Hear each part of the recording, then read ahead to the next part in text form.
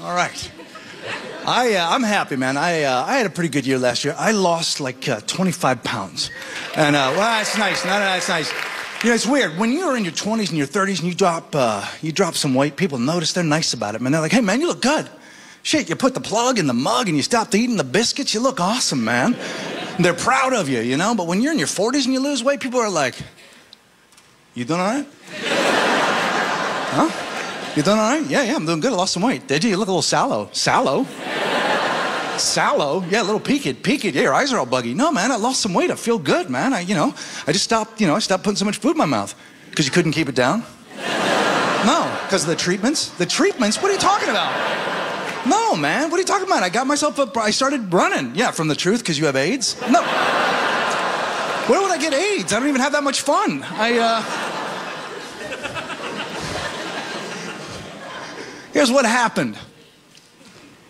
Christmas last year, I'm going to a party with my wife. I'm in my bathroom. Here's why I lost weight. I'm cruising across the bathroom. We got a cabinet mirror open. I got a mirror here and I catch an angle. You ever do that? You see an angle on yourself that you don't normally see because your head's not torn off and sitting on a table? right? And I see an angle and I just, it's just quick. It's just a moment. I have this moment. I have two thoughts. My first thought is fat ghost. Like, oh, oh my God.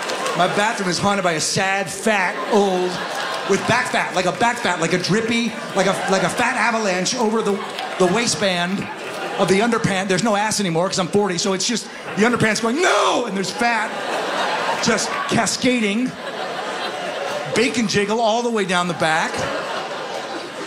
So that's my first thought is fat ghost, and then my second thought is, oh my god, my wife has to fuck that guy. Like, how sad. Like I thought she turned the lights off because she was shy. So. I was like, I gotta get behind, I gotta lose some weight. I gotta take some weight off, man. I wanna, cause I do, I just wanna feel good about it. I just wanna be able to go, you know, I call it the full McConaughey. I just wanna be able to go shirtless. Just to be, you know what I mean? I'm not saying, he, I'm just saying he's a guy that's comfortable without a shirt on. He'll just take a shirt off for no reason. He'll be at a premiere, he'll take his shirt and his shoes off. He's like a monkey. He's just walking around playing a bongo, riding a bicycle with Lance Armstrong. He doesn't care, he's just shirtless just doing it. He's out there, just ripped up, you know, just tore up. His abs out there, you know, ripped like Jesus. You've seen it. You know, Jesus was ripped. You've seen the photos. You're in a church. He's up there, you know, the sermon's long. You finally look up, you're like, wow, two, four, six, eight. Obliques, man. That's that's been nice. Jesus walking around the desert, being able to get that loincloth in a 28. Can I get that in a 28? Come on, Jesus. You know they're only they're one size fits all. Come on, man.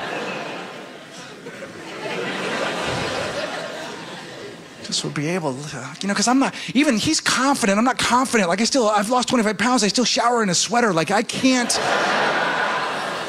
Even if I did go shirtless, I'd have to. The only way I could do it is if I pretended I was looking for a shirt. You know, I could do it, but I'd have to be like, "Does anyone see my shirt at all? Anybody seen? Anybody seen his shirt at all? I lost." But there's something else about McConaughey that I like. It's his way of being in the world. He has a sense of confidence, a sense of purpose. He doesn't care what you think. Like, like McConaughey makes two kinds of movies, shitty and awful. And he doesn't care. And we still like him and we keep going, right? He doesn't care. And I was like, what's the secret to his success? What is it that he has that I don't? And then I did the Conan O'Brien show, and he was on the show as well. And I saw him standing in the hallway. And McConaughey is standing. When McConaughey is standing, he stands like this. He tips it out. He brings it forward. Do you see what I'm saying? He leads in here. He brings this to you first. What he does is he allows his cock to enter the room first to announce the arrival of his face. Mr. McConaughey will be coming soon. Please